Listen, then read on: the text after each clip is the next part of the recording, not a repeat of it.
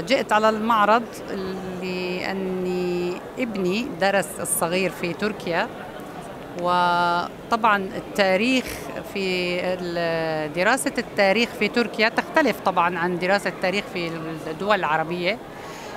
فافتقد جدا إلى تاريخ الدولة الأموية العباسية فتح الأندلس الدولة الأموية بالأندلس آه، الدولة الأيوبية آه، الفاطمية.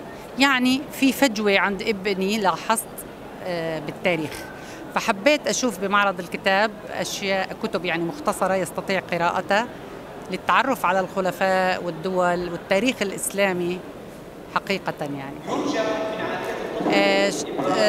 الشغلة الثانية اللي بتلفت نظري يعني وبتمنى يعني إنه يكون في عمل جماعي فيها هو ضعف اللغة العربية عند الأجيال اللي انتقلت للعيش بتركيا لأي سبب من الأسباب. السوريين اليمنيين المصريين. كل الأطفال اللي يدرسون في المدارس الحكومية التركية. فجزاهم الله خير لكن اللغة الأم ضعفت عند الأطفال.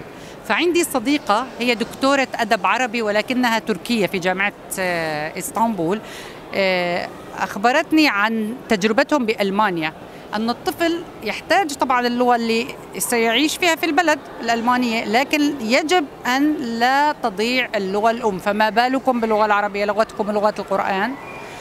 فطبعا وجود منصات آه، ويسجلوا أولادهم بالمنصات لكن صراحة هذه المنصات ما هي شيء آه، عملي أبدا والأطفال يعني تعرفت على جيل بيقرأوا صاروا القرآن بالأحرف اللاتينية. أصبحوا عجب مع انه مع إنه لسه الجيل الأول هذا في تركيا.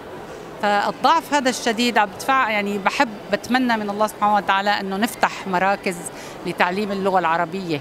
مو فقط قراءة القرآن لا اللغة العربية بالنحو بالكتابة بالأدب بتاريخها منذ الصغر وحتى بالأعمار حتى لو ثانوي. هذا يعني مثلا بالسبت أو الأحد يفتح هذا المركز يلتحقوا فيه الأطفال يلتحقوا فيه المراهقين حتى الكبار بدأت تضيع اللغة. وأتمنى يعني التجربة التركية اللي عملوها بألمانيا أنه حافظوا على لغتهم نحافظ نحن كمان على لغتنا لأنه نحن لغتنا لغة القرآن.